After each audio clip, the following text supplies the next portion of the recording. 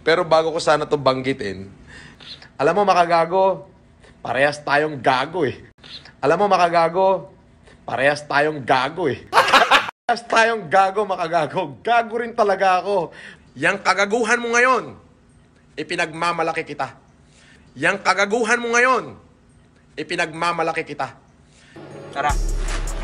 Yo, what's up sa mga ka-hombre ko dyan? Fuck man, makagag, what's up man? At syempre, nandito ako sa QC. Ipakita mo kung gaano kaastig ang QC. Itong pagmumukhang to ay fucking super band sa QC but then nandito tayo just for the sake of it. Kasi syempre, um, si Idol Marcos ay ay nag uh, ano ng challenge, gumawa ng isang challenge. Mayaman challenge. At syempre, dahil ako kasama ang pamilya ko sa Extreme House, kami ay mayayaman. At syempre, i-accept namin na mayaman challenge. Fuck man, isang buong crazy truck. Maraming bigas.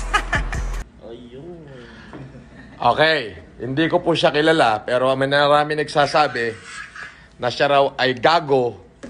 Sa pangalan pa nga naman, makagago. Pero alam mo yung pagiging gago mo, kung naririnig mo ako ngayon, makagago. O para sa akin, tulin-tuli ka. Isa kang tunay na lalaki. Iyang kagaguhan mo ang kailangan ng mamamayang Pilipino sa panahon ngayon. Ah, ayun. Yun po yung dahilan kung ba't ako nag-live. Kasi po nagre-review po ako ng comments sa aking YouTube channel. Para po bukas sana, ma- ma-review namin ngayong magdamag para bukas malaman ko po yung, yung kung sino po yung babimigyan ng bigas. Eh, akalain niyo pong sa pagre-review ko sa aking YouTube channel ng mga comment, nakita ko po yung makagago. Ha? Sinagot ni Makagago ang hamon ni Sir Francis Leo Marcos.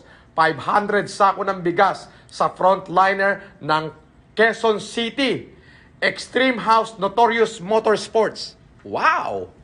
Alam mo, makagago, parehas tayong gago eh. parehas tayong gago, makagago. Gago rin talaga ako. Putang ina, tignan mo yung mga nasa gasaan ko, ang lulupit. ang lulupit ng mga nasa gasaan ko. Pero, yang kagaguhan mo ngayon, ipinagmamalaki kita. Kasama mo ako. Nasa likod mo ko. Ha? Kahit ano mangyari, hindi kita iiwan. Dahil gago ka. Yang kagaguhan mo, ang kailangan ng Pilipinas. ha? Puta, ako, ako lamang yung gagong promotor ng kagaguhan mo. Ha? oh, ako yung gago. Gagong-gagong promotor ng kagaguhan mo. Pero, yung kagaguhan mong yan, ah, yung kagaguhan natin, ang kailangan ng ating mga kababayan. Kailangan ka ng ating lipunan. Para sa'yo, kung sinong politiko ang kukontra sa ginagawa mo ngayon. Sabi ni Pangulong Duterte, i-dismiss niya. Bakit? Higit pong kailangan ng mamamayan hindi lamang po yung kuda at satsat sa lipunan. Hindi po yun eh. Alam niyo po, tama po yung sinasabi nung aking inspirasyon na si Yorme. Ah, isa sa aking mga inspirasyon. Marami pa ho kong politikong eh, marami pa hong politiko na nanunungkulan sa ating bayan ang ah, nag-inspired sa akin. Okay? Yung ini, ini na, inspirasyon ko, pero isa na rin si Yorme. Uh, wag naman tayong tigilan muna natin ang politika. Kung meron kayong makitang tao sa lansangan na kaya siya lumabas ay para tulungan yung ating mga kababayan, yung ating mga frontliner, ah, hindi lang ang frontliner, especially yung ating mga maralitang kababayan na higit na nangangailangan. Yung mga frontliner po, alam natin talagang sila yung nagbubuwis buhay para maging safety tayo. Oh, pero ang gobyerno po ay may kaka, meron po ang gobyernong ayuda para sa kanila. Yung idutulong po natin sa ating mga frontliner ay karagdagan karagdagang ayuda po para namang ma- maiparamdam natin doon sa mga frontliner na may nagmamahal din sa kanila. Hindi lamang sila yung hindi lamang hindi hindi sila kalaban. Okay? Ah, Yang kagaguhan ni makagago na yan, ah, yan po ang kailangan. Please, para dun sa mga, tigilan muna natin yung kyaw-kyaw. Ha? Huwag muna ho yung dak-dak. At saka na tayo magdaldalan pagkatapos ng COVID. Ha? Ngayon muna, yabangan muna kailangan ngayon. Yung mayayaman challenge talaga. Ayan, sa sobrang yaman ni Makagago, isang truck na, ah, limandang kabang bigas yung binili. Para ipamigay. Ha? Grabe. Tanga na. Parehas tayo, gago rin ako eh. ako isang gano. Ah, gago rin. Ay, grabe. Pero, makagago. Mabuhay ka, barako ka, sampu ng yung mga kasamahan. Ha? Yung mga kasamahan mo dyan sa sa Extreme House, ha? At saka sa Notorious Motorsports, ha? Pagkatapos ng COVID, magkapi tayo, ha? Maggaguhan tayong dalawa, ha? Alam mo, gustong gusto kong nakikipaggaguhan sa mga gago.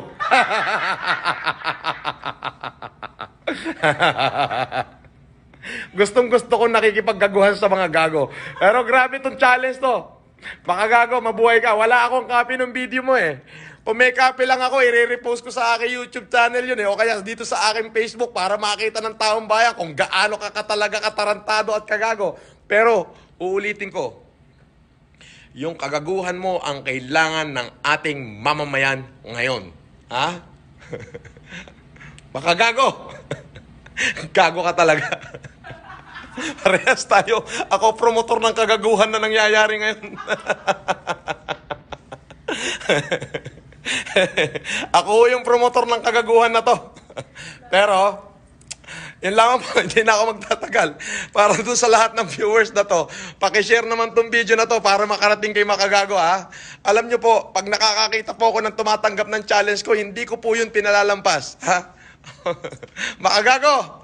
Ang, wala na ako iba sasabihin sa'yo, kundi mabuhay ka. yang, yang kagaguhan mo, kailangan niya ng Pilipinas. Gago ka talaga. Aking inspirasyon na si Yorme. Ah, isa sa aking mga inspirasyon.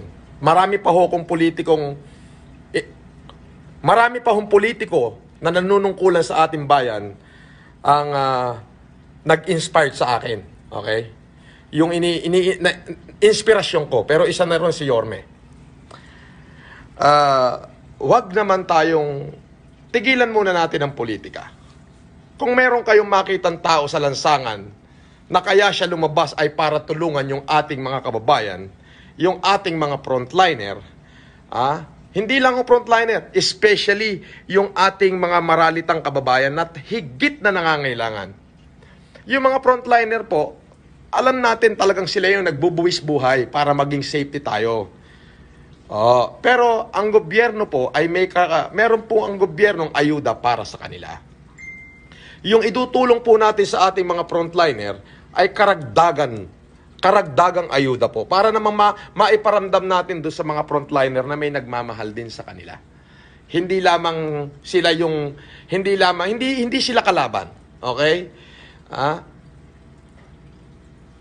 Yang kagaguhan ni makagago na yan, ah, yan po ang kailangan. Please, para dun sa mga, tigilan muna natin yung kyaw-kyaw. Ha? Huwag muna ho yung dak-dak. At saka na tayo magdaldalan pagkatapos ng COVID. Ha? Ngayon muna, yabangan muna kailangan ngayon. Yung mayayaman challenge talaga. Ayan, sa sobrang yaman ni Makagago, isang truck na, ah, limandang kabang bigas yung binili. Para ipamigay. Ha? Grabe. Tanga na. Parehas tayo, gago rin ako eh. ako isang gano. Ah, gago rin. Ay, grabe. Pero, makagago.